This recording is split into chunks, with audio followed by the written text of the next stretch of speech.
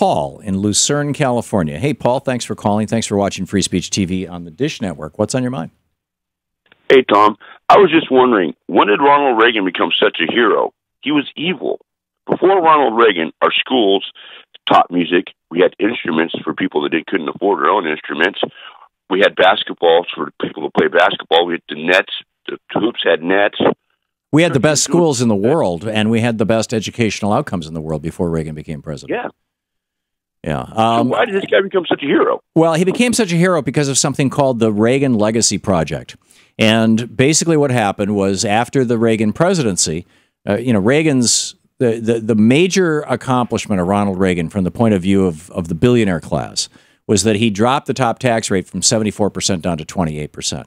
And they wanted us to always believe that that was such a, a, a, wonderful, helpful, incredible thing that no one should ever think about repealing the Reagan tax cuts. And in fact, even Democrats don't talk about, uh, other than Bernie Sanders, don't talk about repealing the Reagan tax cuts. And this Reagan Legacy Project was funded by a group of billionaires. One of the one of the things that they did was basically reinvent Reagan's history I mean, you could read it. Even uh, you know they've even scrubbed the Wikipedia page and things. I mean, the, the, the, Will Bunch wrote a brilliant book, "Tear Down This Myth," that just deconstructs the Reagan presidency. You will not find that stuff online by and large, or if you do, it's really hard to find. It's buried 20, 30 layers deep because these this very deep pocketed Reagan legacy project they they uh, one of their goals was to erect a statue or rename a prominent building in every congressional district in the United States.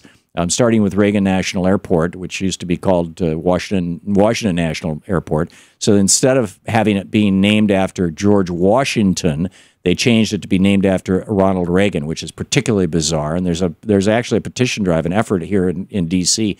to get Reagan's name taken off the airport and and name it after George Washington again. And but uh, but that that Reagan Legacy Project they they put a, an enormous amount of time and money into creating this mythology of Ronald Reagan and reinventing him in the in the mold that the modern day billionaires want uh, everybody to think of him as. But I, I, you know, I agree with you, Paul. I'm, I'm old enough to remember the Reagan presidency and to remember what America was like before we abandoned Keynesian economics and, and started embracing Reaganism. So, yeah, I, uh, let's see. You live in Lucerne, California. What have they named after Reagan near you? Nothing. Yeah, well, they will. they will.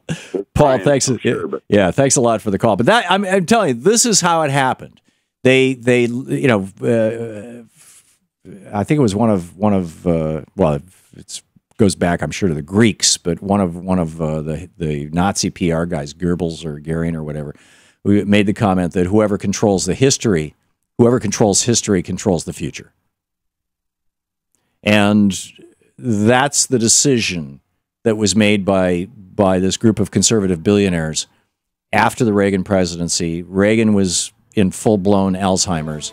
And they were like, okay, we've got to, yes, this was the most corrupt administration in terms of actual arrests and convictions in the history of the United States. Um, Ronald Reagan sold weapons for six years to the Iranians. He came to he came into office as a result of an act of treason, and yet they figured this is the guy. We've got to create a saint to compete with FDR.